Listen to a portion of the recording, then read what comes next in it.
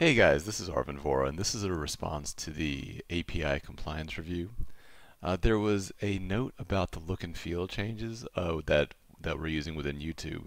Uh, in reality, we're not we're not actually changing the look and feel of YouTube at all. We don't do anything with the YouTube videos. Anything that you're seeing here that looks different from on from anything on YouTube is actually done by Slack. So everything we're doing is inside of our Slack channel. So this is this is uh, Slack in dark mode over here.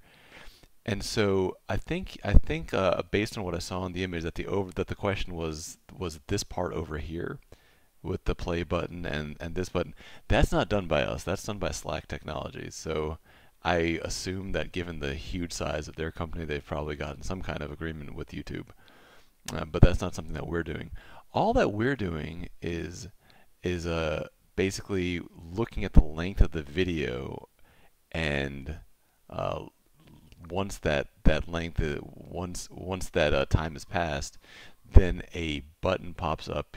Not not on top of the YouTube video, but like like a message comes up here. Like like I'm just gonna write the word message. Like the message comes up here, not on top of the video. So the the video is not in any way adjusted. See see how that but that button came up this done watching button. That's that's all that that we do. So there's no direct there's nothing that that happens with overlays or or anything similar to that.